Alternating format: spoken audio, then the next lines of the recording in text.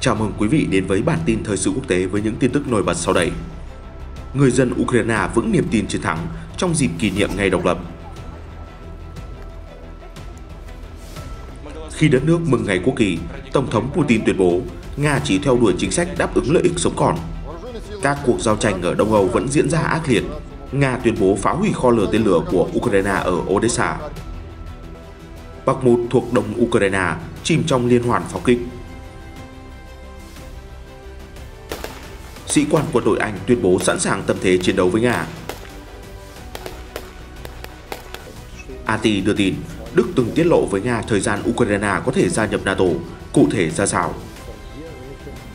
Mỹ, Hàn bắt đầu tập trận quy mô lớn kéo dài 11 ngày. Tất cả sẽ được gửi đến quý vị ngay sau đây.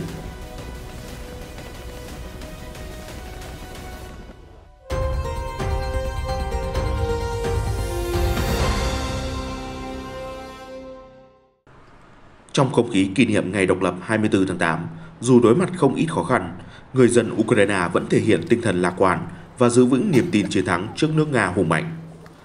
Theo Al Jazeera, ở phía nam thành phố Mykolaiv, cách vùng Kherson mà Nga kiểm soát khoảng 50 km, người dân Ukraine chật vật mang nước về nhà sau khi các cuộc pháo kích của Nga phá hủy đường ống dẫn nước của thành phố. Teresa Bò, cư dân địa phương chia sẻ với Al Jazeera, nhiều người dân đã sống trong cảnh thiếu nước ngọt suốt nhiều tháng. Thành phố đã bị săn phẳng, điều tàn, nhưng người dân vẫn giữ được ý chí mạnh mẽ. Họ nói nhiều về việc phải đấu tranh để giành lại đất đai, đấu tranh vì ngôi nhà của mình. Tại thủ đô Kyiv, những chiếc xe tăng bị cháy rụi của Nga đã được trưng bày trên đại lộ trung tâm trong khuôn khổ lễ kỷ niệm ngày độc lập của Ukraine. Đây cũng là ngày đánh dấu 6 tháng chiến dịch đặc biệt của Nga diễn ra. Cư dân Marina Pesvalova nói với Anzariza, người Ukraine tin rằng họ có thể đánh bại Nga. Bà nói, chúng tôi hy vọng đất nước mình sẽ sớm giành chiến thắng. Truyền thông Nga Sputnik News đưa tin, nhân ngày quốc kỳ Nga 22 tháng 8, Tổng thống Vladimir Putin đã có bài phát biểu kỷ niệm. Trong đó, ông nhấn mạnh Moscow sẽ trung thành với các giá trị truyền thống với tư cách là một quốc gia độc lập và hùng mạnh. Nga sẽ chỉ theo đuổi những chính sách đáp ứng các lợi ích cơ bản của mình. Ông chủ Điện Kremlin nhấn mạnh, nước Nga là một cường quốc độc lập, mạnh mẽ trên thế giới. Trên trường quốc tế, chúng tôi cam kết chỉ theo đuổi những chính sách đáp ứng lợi ích sống còn của Tổ quốc. Nhà lãnh đạo nhớ lại khoảnh khắc lá cờ Nga được kéo lên trên con tàu chiến đầu tiên của đất nước hơn 3 thế kỷ trước. Ông cho rằng đây vẫn là biểu tượng của nước Nga trong những giai đoạn khó khăn, thử thách.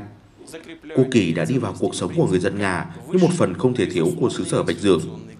Đây là một biểu tượng của sự đoàn kết toàn dân. Ông Putin nói, Quốc kỳ tượng trưng cho niềm tin của chúng ta và các giá trị truyền thống mà chúng ta sẽ không bao giờ từ bỏ. Đó là sự thật và công lý, tinh thần đoàn kết và lòng nhân hậu, cũng như sự tôn trọng đối với lịch sử không bị gián đoạn, kéo dài hàng thế kỷ của nước Nga. Những thành tựu và chiến thắng của tổ tiên đã truyền cảm hứng để chúng ta bảo vệ Tổ quốc và không bao giờ chấp nhận sự bá quyền của nước ngoài. Tổng thống bày tỏ tin tưởng rằng quốc kỳ sẽ luôn là biểu tượng thiêng liêng đối với mọi thế hệ công dân Nga. Ông nói, Quốc kỳ và biểu ngữ chiến thắng đã thấm nhuần trong tư tưởng của thế hệ kế tiếp, tôn vinh các giá trị của lòng yêu nước, tinh thần công dân và trách nhiệm của họ đối với tương lai của Tổ quốc. Nhà lãnh đạo quy định, từ ngày 1 tháng 9, đầu năm học, tất cả trường học ở Nga sẽ bắt đầu tuần mới bằng nghi thức chào cờ và hát quốc ca.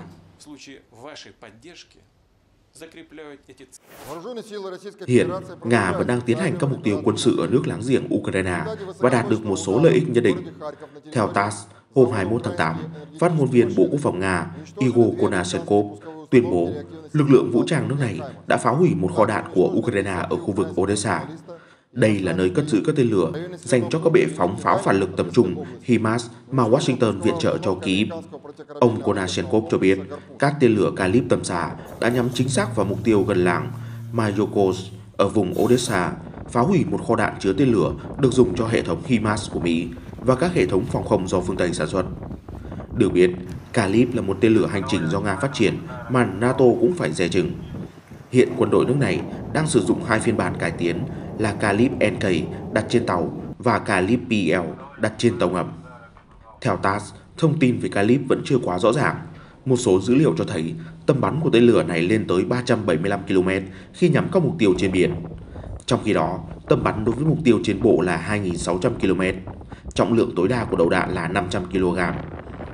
Tổ hợp này được biên chế cho Hải quân Nga vào năm 2012. Theo Bộ Quốc phòng Nga, Kalib đã được triển khai 13 lần với tổng số ít nhất 99 tên lửa đã được dùng để nhắm vào các phần tử cực đoan. Tại khu vực Donbass, Nga vẫn đang giành được lợi thế. Đội quân xứ Bạch Dương đang nỗ lực tiến sâu vào khu vực Bakhmut thuộc vùng Donetsk, miền đông Ukraine, theo Reuters đưa tin. Người dân ở khu vực mà Ukraine kiểm soát ở Donbass cho biết các cuộc pháo kích liên tục xảy ra và bừa bãi bất kể là vùng giao tranh hay khu dân cư. Bà Valentina, 72 tuổi, cư dân Bakhmut, nói với Reuters rằng vào sáng sớm ngày 21 tháng 8, một quả đạn pháo đã rơi trúng nóc căn hộ của bà. Bà chia sẻ, lúc các cuộc pháo kích chấm dứt, bản thân bà và những người hàng xóm còn cảm thấy lo sợ hơn gấp bội vì họ không biết được điều gì sẽ xảy ra tiếp theo. Cảm giác như đang chứng kiến vùng trời bình yên trước cơn bão. Họ phải sống trong nơm nớp, chuẩn bị tâm lý cho những điều tồi tệ có thể xảy ra bất cứ lúc nào. Vadim, một bác sĩ tại bệnh viện giã chiến Ukraine nói rằng lực lượng Nga có lợi thế hơn về hệ thống pháo binh so với quân đội Ukraine. Theo ông, tình hình ở Bakhmut vẫn khó khăn nhưng ổn định. Bakhmut nằm ở phía tây khu vực Luhansk của Ukraine. Đây là khu vực mà Nga tuyên bố đã kiểm soát hoàn toàn vào đầu tháng 7. Đến hôm 21 tháng 8, quân đội Ukraine cho biết lực lượng Nga vẫn tiếp tục thúc đẩy các cuộc tấn công theo hướng Bakhmut vào cuối tuần qua. Những tiến bộ của Nga ở Bakhmut đã chính thức đánh dấu thành quả lớn. Nếu giành được khu vực này, đội quân xứ Bạch Dương có thể được đà tiến lên vùng Solavias và Karamatos từ phía đông. Theo truyền thông Nga AT, trong một bài viết cho tạp chí quân đội, ông Paul Kane, quan chức cấp cao của quân đội Anh đã nói rằng quân đội nước này phải sẵn sàng chiến đấu với Nga trên tinh thần tham gia vào một đợt triển khai kéo dài. Đề xuất của ông được đưa ra sau khi tân Tổng tham mưu trưởng Anh nói rằng các lực lượng Anh phải có khả năng đánh bại Nga trong trận chiến tiềm tàng. Trong số mới nhất trên tạp chí Người lính của quân đội Anh, ông Carney cho rằng quân đội đang tự định hình để đối phó với mối đe dọa từ Nga. Lực lượng Anh sẽ trang bị đầy đủ, sẵn sàng đóng vai trò tích cực trong việc ngăn chặn cuộc chiến tiềm tàng ở châu Âu. Ông Việt, tôi muốn tất cả chúng ta kiểm tra xem mình có đủ sức khỏe để hoạt động hay không. Và điều quan trọng nữa là chúng ta cần phải chuẩn bị mọi thứ cho người thân của mình. Họ sẽ gặp nhiều khó khăn khi chúng ta vắng mặt. Theo ông, binh lính Nga cần nói trước với người thân về khả năng họ sẽ tham gia một cuộc xung đột tiềm tàng và có thể mất liên lạc trong thời gian dài. Theo AT, cảnh báo của ông Carney không phải là tín hiệu cho thấy Vương quốc Anh sắp thay đổi vai trò trong cuộc xung đột ở Ukraine. Tuy nhiên, cần lưu ý rằng hồi tháng 6, Tổng tham mưu trưởng của Anh, tướng Patrick Sander đã xác nhận quân đội Anh xem Nga là đối thủ lớn của mình. Ông Sanders từng viết, hiện nay có một số mệnh lệnh quan trọng là phải tạo ra một đội quân có khả năng sát cánh với đồng minh đánh bại Nga trong một trận chiến. Chúng ta là thế hệ phải sẵn sàng chiến đấu ở châu Âu một lần nữa. Được biết, kể từ Nga phát động chiến dịch quân sự đặc biệt ở Ukraine, Vương quốc Anh đã viện trợ quân sự cho Ukraine 2,7 tỷ đô la. Lực lượng Anh hiện đang hỗ trợ huấn luyện cho các tân binh Ukraine. Cơ quan tình báo của London cũng được cho là đã chia sẻ thông tin với Kyiv. AT chỉ ra Vương quốc Anh là một thành viên của Liên minh NATO. Trong trường hợp nước này tham gia vào cuộc chiến công khai với Nga, 29 quốc gia thành viên khác của khối, bao gồm cả Mỹ, sẽ có nghĩa vụ tham gia vào cuộc xung đột. Nhận xét về ý kiến của ông Carney, cựu Tổng tham mưu trưởng quân đội Anh, tướng Sir Richard Danas nói với The Mirror, đây là lời khuyên thận trọng từ một người lính hàng đầu của quân đội. Điều này không có nghĩa quân đội Anh sắp triển khai đến Ukraine. Song, nhiệm vụ của bất kỳ lực lượng quân đội nào trong thời bình là chuẩn bị cho một cuộc chiến tiềm tàng. Điều này cũng nói lên rằng, trước một nước Nga hung hăng, quân đội Anh đã cảm nhận được điều gì có thể xảy ra, ông Danat khẳng định. Theo Sky News, Thủ tướng Anh Boris Johnson và các nhà lãnh đạo của Mỹ, Pháp, Đức đã thảo luận về các vấn đề an ninh và ngoại giao quốc tế. Trong đó, các nhà lãnh đạo đã củng cố cam kết kề vai sát cánh với Ukraine. Cụ thể, phát ngôn viên phố Downing cho biết, Thủ tướng Johnson cùng Tổng thống Mỹ Joe Biden, Tổng thống Pháp Emmanuel Macron và Thủ tướng Đức Olaf Scholz đã nhấn mạnh sự kiên định trong việc hỗ trợ Ukraine trước sức ép từ Nga. Người phát ngôn nói thêm, các nhà lãnh đạo đã nhấn mạnh tầm quan trọng của việc đảm bảo an toàn và an ninh của các cơ sở lắp đặt hạt nhân, đồng thời hoan nghênh các cuộc thảo luận gần đây về việc cho phép một phái bộ của cơ quan năng lượng nguyên tử quốc tế tới nhà máy điện hạt nhân Zaporizhia. Được biết, nhà máy Zaporizhia là nhà máy hạt nhân lớn nhất châu Âu, đã bị Nga kiểm soát từ những ngày đầu chiến dịch quân sự. Các cuộc pháo kích thường xuyên xảy ra gần nhà máy điện, Nga và Ukraine liên tục đổ lỗi cho nhau. Phía London cho biết thêm, bốn lãnh đạo cũng đã thảo luận về các ưu tiên chung khác, bao gồm nỗ lực ngăn chặn phổ biến hạt nhân và các hoạt động gây bất ổn của Iran trong khu vực Trung Đông.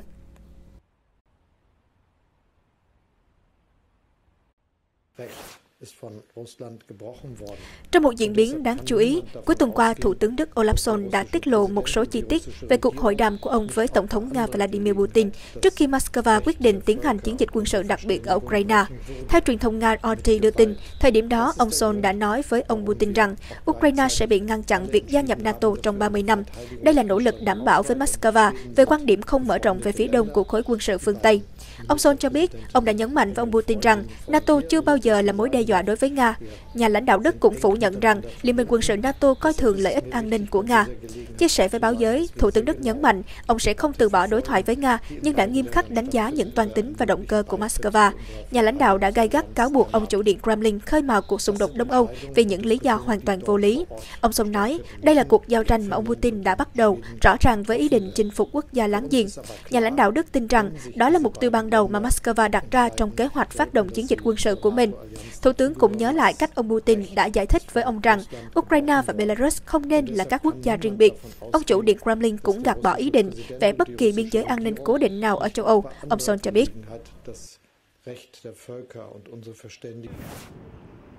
Chuyển sang một số tin tức đáng chú ý khác, Mỹ và Hàn Quốc đã bắt đầu cuộc huấn luyện quân sự chung đầu tiên kể từ khi Tổng thống Yoon suk yeol nhậm chức hồi tháng 5. Các cuộc tập trận với tên gọi lá chắn tự do Unchi diễn ra từ ngày 22 tháng 8 đến ngày 1 tháng 9, với các kịch bản giả định tình trạng khẩn cấp trên bán đảo Triều Tiên. Trong đó, lực lượng binh lính hai bên sẽ thực hiện bắn súng, từ trực thăng và loại bỏ các vũ khí hủy diệt hàng loạt.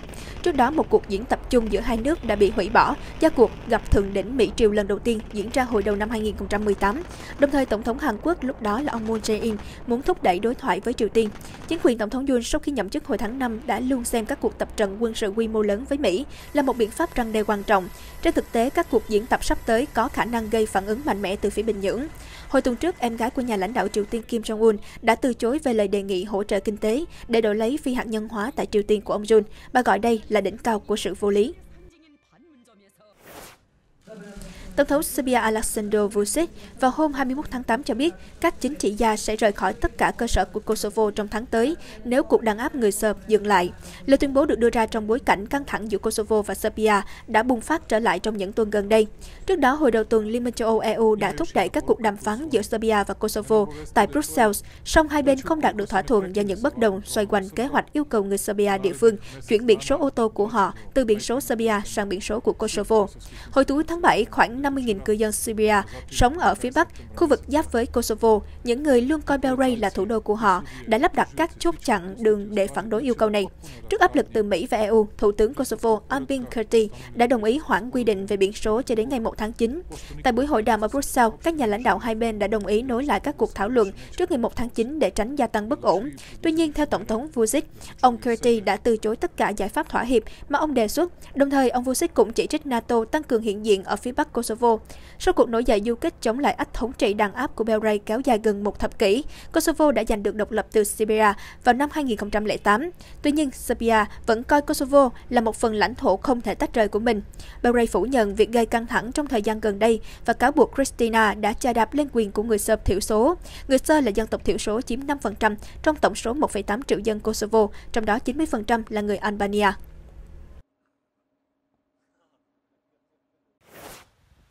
Hôm 21 tháng 8, các khu vực phía Bắc và Đông Ấn Độ tiếp tục ân mình trong đợt lũ lụt nghiêm trọng. Mưa lớn khiến nước sông Yamuna dâng cao, gây ngập lụt các khu dân cư ở thành phố Prayagraj, bang Uttar Pradesh. Cơ quan thời tiết của Ấn Độ dự báo mưa lớn sẽ tiếp tục kéo dài trong hai ngày tới, tập trung ở khu vực thuộc miền trung bang Mahita, Pradesh. Các quan chức cho biết lũ lụt đi kèm lở đất do mưa gió dữ dội đã khiến ít nhất 50 người ở miền Bắc và miền Đông Ấn Độ thiệt mạng trong ba ngày qua. Lũ lụt nhấn chìm hàng trăm ngôi làng, cuốn trôi nhà cửa. Lực lượng cứu hộ cứu nạn phải chạy đua với thời gian để sơ tán cư dân mắc kẹt. Reuters đưa tin hôm 20 tháng 8, một trận mưa lớn đã gây ra ngập lụt tại trung tâm thành phố Moab, Utah, nước lũ nhấn chìm các tuyến phố. Đoạn video được nhân chứng quay lại cho thấy các con phố đã biến thành sông, nước ngập hoàn toàn vỉa hè. Giới chức thành phố đã đăng tin trên Twitter cảnh báo người dân không được đi lại trong các khu vực quanh đại lộ Mill Creek. Theo Reuters, tình trạng ngập lụt cũng được ghi nhận ở một số khu vực lân cận.